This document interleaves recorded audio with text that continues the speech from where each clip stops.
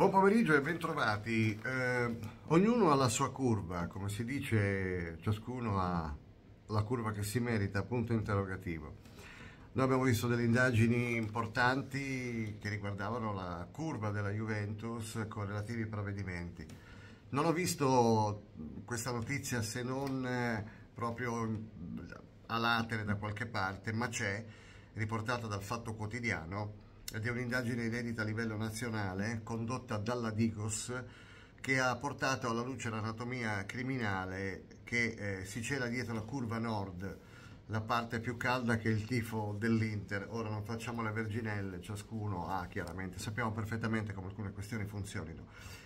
Nel mirino delle autorità investigative c'è l'uomo d'affari noto come lo zio Vittorio Boiocchi, che eh, dominatore di affari e traffici illeciti, la sua influenza ha permeato eh, la scena per poco più di tre anni, dal 2019 fino alla tragica morte sotto casa il 29 ottobre del 2022. Il libro mastro di questo signore, liberato nel maggio del 2018 dopo tre decenni di carcere, rivela, secondo quanto riportato dal Fatto Quotidiano, una serie di attività poco chiare, losche, tra queste accessi illegali allo stadio, bagarinaggio con la complicità di alcuni dirigenti dell'Inter che non sono sotto inchiesta, anzi lo, lo sottolineiamo, anzi sono ritenuti parte lesa dai PM perché vittime dei comportamenti minacciosi degli ultra, gestione di parcheggi VIP, investimenti sulle scommesse, conti bancari, cassetti di sicurezza e legami politici di alto livello.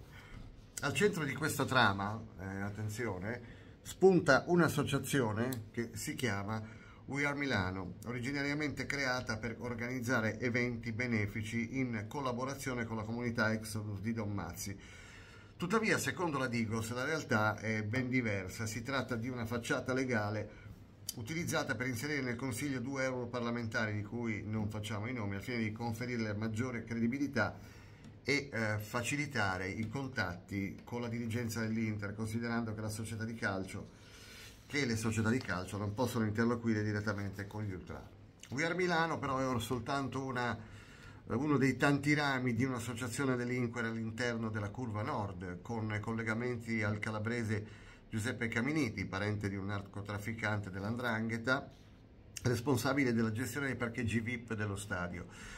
Le indagini rivelano che Caminiti è stato stipendiato dalla società Kiss and Fly, parte di un consorzio con un contratto di gestione da un milione di euro con Mistadio sarelle equamente diviso fra Inter e Milan.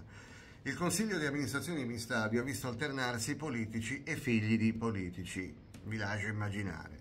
L'indagine della Procura di Milano, ancora aperta, si è concentrata sulle dinamiche interne alla Nord, con particolare attenzione alla gestione imposta da Baiocchi, Dopo la sua morte il direttivo è stato modificato, ma i soggetti già legati all'organizzazione del cosiddetto zio sono rimasti coinvolti nella gestione. Il controllo della Nord è ora nelle mani di un ristretto gruppo noto come il Cerchio Magico degli Otto, che si riunisce settimanalmente.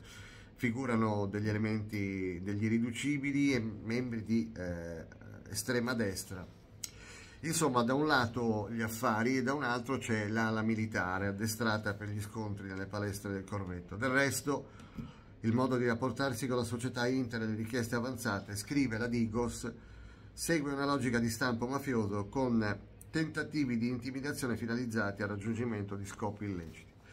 Il piano è tessere rapporti in un delicato equilibrio, spiega la Digos, leggo, eh, fra l'incutere timore e l'attenzione a non palesare un'esplicita minaccia, siamo proprio al limite, salvo poi rivelare, la vera natura violenta e criminale quando le circostanze non rendono più efficace questo genere di approccio, è qui indicativa la gestione di biglietti e tessere, quindi centinaia di ingressi abusivi registrati dalla Digos e quindi con un evidente rischio per la sicurezza pubblica.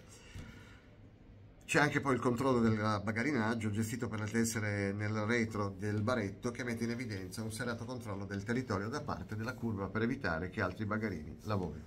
Allora questa è la situazione della curva eh, dell'Inter riportata dal Fatto Quotidiano e da pochissimi siti, curva nord.